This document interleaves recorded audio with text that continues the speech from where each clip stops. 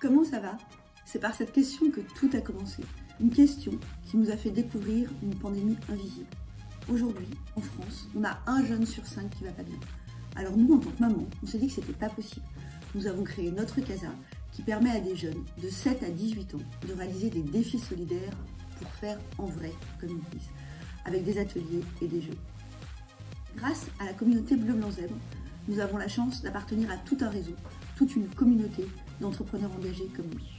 C'est également un accès à une base documentaire absolument incroyable avec tous les appels à projets, ce qui nous permet d'aller plus rapidement. Nous nous positionnons sur l'ensemble du territoire français et notre objectif pour les années à venir, c'est de nous déployer en B2B.